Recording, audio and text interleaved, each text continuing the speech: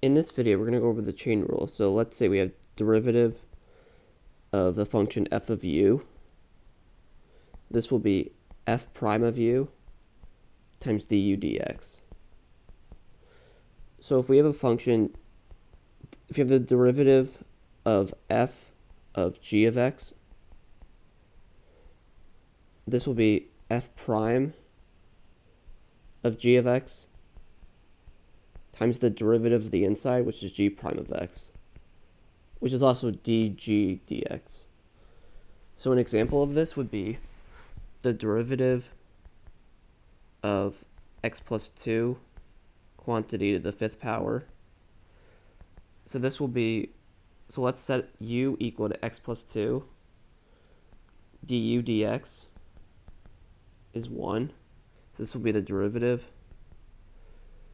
of u to the fifth, which is 5 u to the fourth, times du dx, which is 1.